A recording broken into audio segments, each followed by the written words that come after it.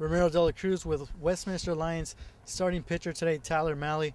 Tyler, you had the complete game today. What was the game plan coming into the game tonight? Game plan was just for me to throw strikes, or defense to make plays, and to whack the ball around the field.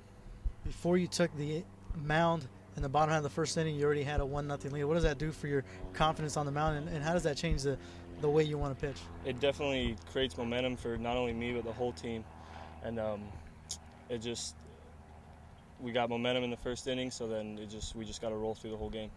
You sat for quite some time in the bottom of the sixth, going back on the, the top of the seventh. Does that do anything to your confidence when you're sitting for so long?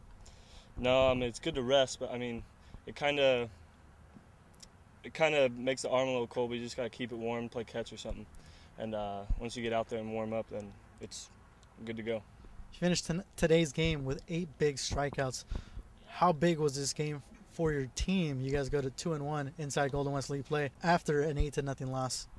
It's big. It's big. Um, it creates a lot of momentum for games to come. We got two games next week. We got to play like we did today, and uh, just forget about Loara.